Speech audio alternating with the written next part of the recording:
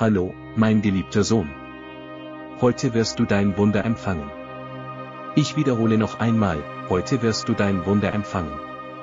Schreibe deinen Vornamen in die Kommentare und den Satz, ich empfange das Wunder Gottes. Hab keine Angst, mein Sohn. Schau nicht misstrauisch, denn heute werde ich dir geben, was du von mir verlangst. Du hast lange darauf gewartet, viel dafür gebetet, und deshalb möchte ich dir heute alles geben, was du von mir verlangst.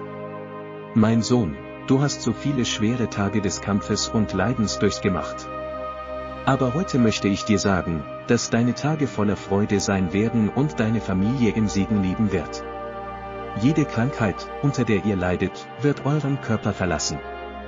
Traurigkeit wird verschwinden, Armut wird verschwinden, und von heute an werdet ihr von Segen zu Segen leben, denn ich bin dein Vater, mein geliebter Sohn.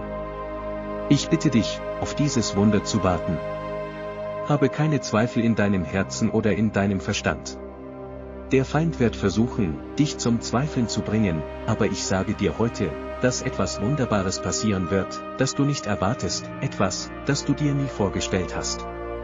Denn für den, der an mich glaubt, ist alles möglich. Habe keine Zweifel, habe keine Angst. Liebe im Gebet, halte dich fern von Klatsch und Heuchelei, Lügen und nähere dich den Werken der Barmherzigkeit.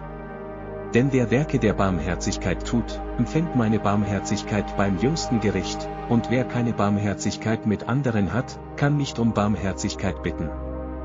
Mein Sohn, sende dieses Video an alle deine Lieben, die lernen müssen, über Barmherzigkeit zu sprechen. Teile es auch in deinen sozialen Netzwerken und like das Video, damit es mehr Menschen erreicht, die Aufmerksamkeit brauchen wie du. Vertraue auf mich, ich vertraue auch auf dich, mein Sohn.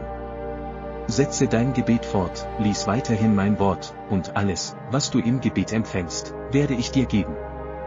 Denn für mich ist nichts unmöglich, und für dich ist alles möglich, wenn du Glauben hast und in meiner Gegenwart bleibst. Zweifle nicht, mein Sohn. Ich bin bei dir, auch wenn deine Tage grau sind, auch wenn die Stürme zunehmen, auch wenn die Situation schwieriger wird und sich verschlimmert. Ich bin immer bei dir. Zweifle nicht, denn ich bin dein Gott, und du bist mein geliebter Sohn. Ich schließe diesen Bund der Liebe und des Segens mit dir, mein Sohn. Akzeptierst du das? Wenn du diesen Pakt akzeptierst, hinterlasse es in den Kommentaren. Ich liebe dich,